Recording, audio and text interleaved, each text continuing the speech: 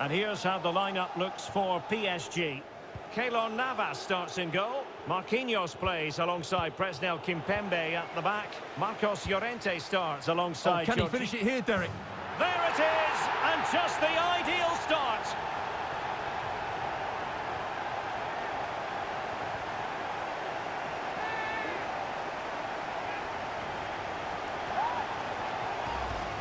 Well, here it is again, and it's a superbly weighted through ball to break that defensive line. And when he gets onto it, he decides to go for power. It's a really emphatic finish, which gives the keeper no chance.